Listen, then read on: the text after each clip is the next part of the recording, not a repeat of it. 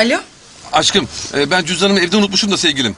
Vay demek ki cüzdanlar bazen evde unutulabiliyormuş değil mi Ozan'cığım? Evet haklısın sevgilim unutulabiliyormuş ama bu acil bir durum Zeynep'ciğim. Bir dakika tatlım öteki tarafta annem var bir anneme döneceğim dönüyorum.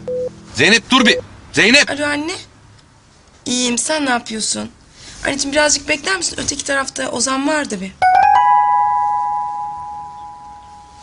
Alo canım öteki tarafta annem vardı da.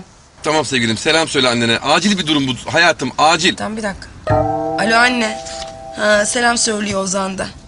İyi. Ben de seni çok özledim ya. Bu akşam. Aa bilmem. Dur bir dakika Ozan'a bir sorayım ben bir. Dur bir dakika. Alo Ozancığım. Annem diyor ki bu akşam ne yapıyorsunuz diyor. Zeynep başlatma akşamından şimdi kızım acil duruyorum, duruyorum sana anlamıyor musun sen ya? Ya bana ne çemkiriyorsun? Allah Allah ben mi unutturdum cüzdanını? Benim suçum mu? Hayret bir şey ya. Dur bir dakika anneme dönüyorum. Kapatacağım şey yapacağım onu kapatacağım. Ya kızım dön. Alo anne. Aman be cüzdanını unutmuş. Bana şey duruyor biz connection'a geçemedik. Bir sonra ben sana şey yaparım. Sen kapat ben seni arayayım mı? Beni kapat beni hala annenle konuştuğunu sanıyorsun. Beni kapat gerek kalmadı artık sağ ol. Ne ya? Yanlış mı yaptım ya?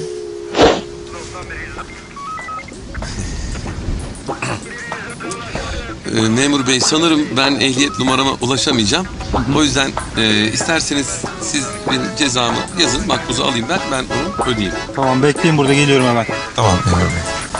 Ah ah. Anandan kurtulamıyoruz ki.